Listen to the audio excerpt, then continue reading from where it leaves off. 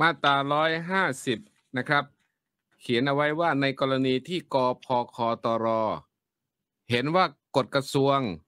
กฎกตรระเบียบข้อบังคับ ข้อกำหนดประกาศมติหรือคำสั่งใด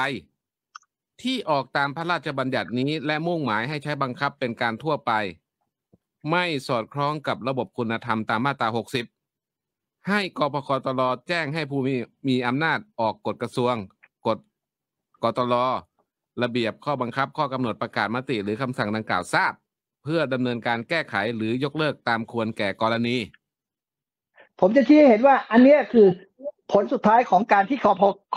กพคตรจะใช้ในอำนาจตรงนี้ เพราะว่าการที่นำเอากฎกระทรวงเดิมนะครับ มาใช้ซึ่งไม่สอดรับกับพระบัญญัติฉบับนี้ หรือมติที่กตรออกนะครับ ไม่ไม่ไม่ครบถ้วน ตามนี้ตามพระบัญญัตินี้ที่เขียนเจตนารมณ์ของระบบคุณธรรมไว้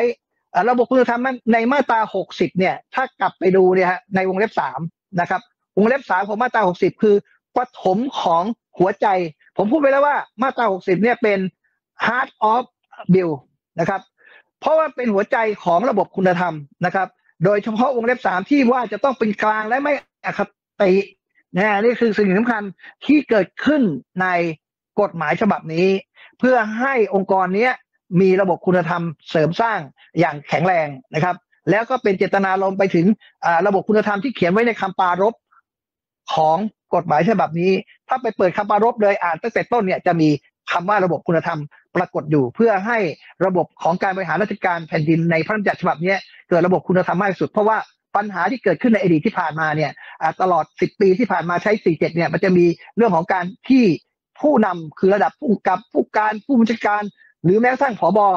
ตรเนี่ยใช้อำนาจอ่าทางวินัยเนี่ยอ่าด้วยดุลพินิจและสั่งโดยใช้อำนาจตามที่สั่งนี้แหละนะฮะอ่ายังเคยปฏิบัติกันมาตลอดนะครับ แล้วไม่ไม่ฟังอ่าเขาเรียกไม่ฟังความฝ่ายอื่นนะครับ จึงมีคณะกรรมการสอบสวนทางวินัยเกิดขึ้น เมื่อมีการออกคำสั่งในประเด็นหรือพฤพฤติกรรมของของเหตุการณ์ครั้งเนี้ย คือมันมีการออกคำสั่งก่อน เข้าใจไหมครับ ออกคำสั่งทางวินัย คือคำสั่งหนึ่งเจ็ดเจ็ดเนี่ยมาก่อน มันจึงต้องไล่ไปตามอ่ามาตราที่ปรากฏที่ผมอธิบายตั้งแต่ร้อยสิบเจ็ดเนี่ยอ่าลงมาอะไรที่เกี่ยวข้องกับการทำวินัยร้ายแรงนะครับ แล้วก็มีเหตุอันที่จะต้องพิจารณาในเรื่องของถูกต้องหาคดีอานะครับ และถูกฟ้องในคดีอาที่คุณพัชระพูดถึง แต่ที่ผมบอกว่าเหตุเนี้ย มันยังเบา ยังเบากว่า เหตุวินัยร้ายแรงสิบประการในมาตราร้อยสิบสองนะครับ ในมาตราร้อยสิบสองที่เป็นวงเล็บห้านะเป็นเรื่องของการติดคุกเลยนะครับถูกจองจำถูกลงโทษสารพิพากษาคือมันกลายเป็นเป็นเป็นเป็นผู้ต้องขังกันไปแล้วนะครับ เคยเป็นผู้ต้องขังแล้ว นั่นคือถูกสั่งให้ลงทันได้เลยนะครับ ถูกสั่งให้ออกได้เลย อย่างนั้นนะนะคืออไม่ต้องใช้ กรรมการสอบสวนทางวินัย เพราะว่าเป็นเหตุวินัยร้ายแรงในสิบประการนะครับ แล้วก็ยังมีเหตุอันที่กตกำหนด อันนี้ผมยังไม่ได้กล่าวอ้างไปถึงนนั้นด้วยนะครับ อันนี้คือสาระสำคัญที่บอกว่าอ่าทำไมร้อยสามสิบเอ็ดจึงมีอำนาจนะฮะมีอำนาจ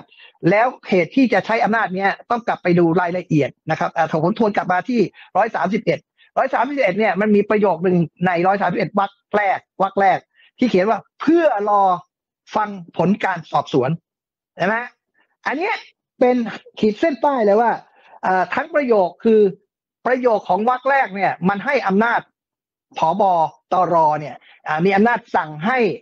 คนที่กระทำผิดเนี่ย ออกได้เลยนะออกได้เลย โดยเพื่อรอผลการสอบสวนนะครับ เพื่อเราก็ได้ได้ไม่ใช่ก็ได้ได้นะครับ แต่ผมผมตีความอย่างนี้ครับ เพื่อให้เข้าใจ กฎหมายเนี่ยไม่ใช่อ่านแค่ครึ่งเดียวนะในบทบริบทอันเนี้ย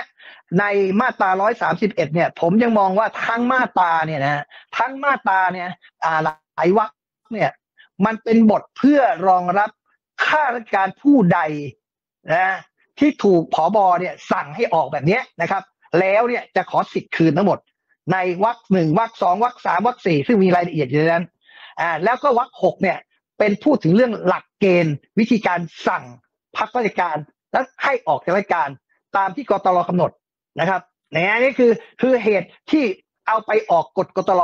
แต่กฎกตลเนี่ยต้องออกเพื่อให้ให้มีเนื้อความวรรคหนึ่งวรรคสองวรรคสามวรรคสี่นะวรรคห้าอ่า ให้ครบถ้วนด้วย เพราะว่ากฎกตลต้องออกว่าด้วยการสั่งพักราชการและให้ออกนะครับ อันนี้คือสิ่งแต่ อันเนี้ยเป็นสิ่งที่ตรอยึดหน่วงไว้ไปออกเอากฎกตลปี 47 เนี่ย ซึ่งออกตามมาตรา 95 เนี่ย มาใช้บังคับ อันเนี้ยเป็นเหตุอันที่เขาเรียกว่าทางอนุกตลก็ยังยืนยันว่าออกคำสั่งโดยชอบด้วยกฎหมาย ใช่ ถ้าไปใช้ปี 47 มันก็มีอำนาจ ใช่ ผมไม่เถียงเลยนะครับ แต่ปีนี้มันออกปี 65 แล้ว และปี 65 มันมีกฎหมายใหม่ นะครับ ที่ปรากฏในเนื้อความ 120 ซึ่งมันอยู่ในหมวดเดียวกัน คือหมวดวิธีการดำเนินคดีทางวินัยเนี่ย ของตรอตั้งแต่ 117 จนถึง 132 เนี่ยผนวกเข้ากับใช้อย่างอย่างเจือสมมาพูดง่ายนะครับ จะบอกว่าโอ้ยร้อยสามสิบเอ็ดอยู่เฉพาะเดือนตอนนี้ผมยังพูดเลยว่าการตีความตามร้อยสามสิบเอ็ดเนี่ย มันควรจะไปตีความในวรรคหกคือ หลักเกณฑ์ วิธีการระเบียบกฎที่ออกโดย กตลที่กำหนดไว้ ซึ่งจะต้องออกนะครับ แต่ยังไม่ออก ยังไม่ออกนะปีหกห้านี่ยังไม่ออก มันจะต้องออกให้สอดคล้องกับพระราชบัญญัติฉบับนี้ด้วยนะครับ แต่ยังไม่ออกจะกลับไปใช้กฎกตลเดิม ซึ่งมันขัดหรือแย้งตามมาตรา 179 นี่คือการตีความที่ผมคิดถึงเจตนารมณ์ของกฎหมายที่ออกมา เพื่อให้เกิดความกระจ่างนะครับให้เข้าใจว่าการใช้กฎหมายเนี่ย อาจจะบอกว่าจะหยิบเอามาตรานี้มาตราเดียว ไปใช้เนี่ย ผมคิดว่าผิด แล้วเจตนารมณ์ของการใช้มาตราเนี้ยผมยังตีความโดยฐานะส่วนตัวเลยว่า เป็นเรื่องของการให้คุณต่อผู้ถูกสอบสวนนะครับ โดยให้กตลออกหลักเกณฑ์ เพื่อรองรับวรรคหนึ่งวรรคสองวรรคสามวรรคสี่วรรคห้านะแม้กระทั่งวรรคห้าเรื่องเงินเดือนต่างๆ ที่จะให้เขาเนี่ย ให้กำหนดไปตามระเบียบ ว่าจะควรจะให้หรือเปล่า เมื่อสั่งให้เขาออกรายการหรือสั่งให้พักรายการเนี่ยคือวิธีการที่จะออกนะครับนั่นก็คือให้เข้าใจถึงวิธีการออกอนุบัญญัติ เหมือนร้อยยี่สิบอะร้อยี่สิบซึ่งจะต้องออกอนุบัญญัติของกฎกตรว่าด้วยการสอบสวนทางวินัยนะซึ่งมันมีเนื้อความของวรรคสี่เพิ่มขึ้น กฎกตลก็ต้องออกอ่าเขาเรียกอนุบัญญัตินี้ให้ชัดเจนว่าอาจจะฟังการสอบสวน เพราะว่าการที่จะสั่งพักราชการหรือให้ออกไว้ก่อนนั้น มันจะต้องมีโทษร้ายแรง เข้าใจไหมฮะมันไม่ใช่โทษโทษเหมือนกับพักทันเอาไปกักยามแล้วจะจะต้องรอผลการสอบสวนทางวินัยมันไม่จำเป็นขนาดนั้น แต่ไอ้โทษไม่ใช่โทษ คือวิธีการของกระบวนการทางวินัยตรงเนี้ย มันดูร้ายแรงอ่ามันจึงต้องฟังความคิดเห็น นะแล้วมันไปกระทบสิทธิ์โดยเฉพาะเรื่องกระทบสิทธิ์ของผู้ถูกสอบสวนเนี่ยเป็นหัวใจสำคัญ มันเป็นการคุ้มครองในระบบคุณธรรมนะผมเชื่อว่าตรงนี้นะครับเป็นไฮไลท์ที่ประชาชนต้องเข้าใจว่าอย่ามองว่าการที่ข้าราชการกระทำผิดทางอาทีอาญาเนี่ยจะต้องถูกลงทันให้ออกจากราชการทันที ใช่ครับในความผิด เช่นค้ายาเสพติดมียาเสพติดอยู่ในมืออย่างเงี้ยเขาใช้อำนาจได้เลยนะคือลงทันเลยนะครับ มันมีวรรคสองของร้อยยี่สิบวรรคสามเนี่ยวรรคสามไม่ใช่วรรคสองวรรคสามของร้อยี่สิบเนี่ย สามารถลงทันได้เลย ไม่เชื่ออ่านดูก็ได้นะครับอ่านี่คือสิ่งที่สำคัญอ่าคือลงทันเลยไม่ใช่ให้ออกหรือพักราชการนะลงทันเลยในเจ็ดประการนะครับ คือปลดออกไล่ออกเลยเลยนั่นคือสิ่งที่หรือชกต่อยคุ้งชาที่กระด้างกระเดือง เป็นความผิดวินัยร้ายแรงอย่างชัดเจนในสิบประการ ความผิดวินัยร้ายแรงนะครับ ในร้อยสิบสองร้ายแรงชัดแจ้ง หรือชัดเจนที่ว่านะฮะนะครบทุกการก็ให้ออกราชการได้เลย ตามสถานทานอ่าเนี่ยแต่ไม่ใช่การพักราชการหรือให้ออกไว้ก่อนนะถ้าพักราชการให้ออกไว้ก่อน จะต้องความความเห็นของคณะกรรมการครับ ครับ แต่ร้อยยี่สิบเขาก็บอกว่ามันไม่ได้พูดถึงอาญานะฮะท่านสุพิสาร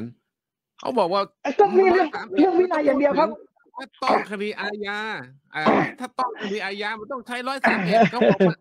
ไม่ใช่ครับสมบูรณ์เขาบอกว่ามันมันอยู่ในตัวแล้วร้อยสามเอ็ดไม่ต้องไปร้อยยี่สิบเขาว่าเขาว่าท่านพิสารว่าไงฮะเขาว่านะเอาเอางี้ครับ กระบวนการสอบสวนทางวินัยมีอยู่สองอย่าง เท่านั้นเอง ไม่ร้ายแรงกับร้ายแรงนะครับ ส่วนคำว่าหรือเนี่ยเป็นการพ่วงต่อคำว่าร้ายแรงนะครับ งั้นการที่ต้องหาคดีอาญาหรือถูกอะฟ้องคดีอาญามันเป็นส่วน ส่วนที่มาผูกผูกคำว่าวินัยร้ายแรงงั้นกระบวนการของการสอบสวนวินัยร้ายแรงเนี่ย ก็คือที่บัญญัติไว้ตั้งแต่ร้อยสิบเจ็ดถึงร้อยสามสิบสองต้องใช้ตรงนี้ จะใช้ตรงอื่นไม่ได้ มันมีแค่นั้นเองครับ การสอบวินัยมีแค่นั้น มันไม่ใช่การสอบการต้องหาคดีอาหรือการสอบต้องอ่าต้องอ่าต้องถูกฟ้องทางคดีอาไม่ใช่ นั่นก็เรื่องคดีอาญาไปนะครับ คนละเรื่อง นี่คือสำนวนวินัย เมื่อกี้ท่านสุพิสารบอกว่ายังไงร้อยสามเอ็ดเนี่ยเขาก็ต้องเป็นบทบัญญัติที่ต้องให้เป็นคุณแก่ผู้ถูกผู้ถูกสอบวินัย ถูกไหมเมื่อกี้ใช่ท่านคบรัอบกใช่ครับอ่าถูกต้องครับ ถ้าอย่างนั้นถ้าพิจารณาทั้งมาตราทุกวรรคท่านก็ยังคิดว่ายังไงยังไงมันก็ต้องเป็นคุณกับผู้เอ่อผู้ถูกสอบสวนอยู่ ไม่ใช่แบบเป็นคุณกับผู้ชผู้สั่งผู้ใช้อำนาจว่างั้นเถอะใช่ครับ ใช่ถูกต้องครับ ผู้ใช้อำนาจเนี่ยใช้อำนาจต้องครบถ้วนนะครับ แล้วใช้แล้วได้ตามที่ห้าสิบตัวอักษรแรกได้นะฮะเพื่อรอฟังผลการสอบสวนได้นะพอได้ปั๊บเว้นแต่มีอะไรเหตุเหตุที่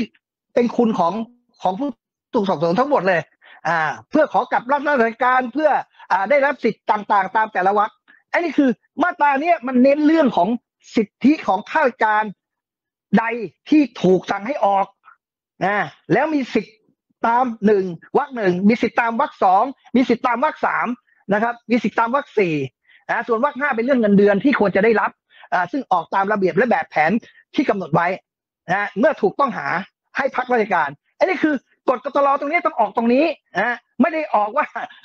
เออนั่นคือเป็นกฎกตลเดิมที่เขาใช้ในปี 47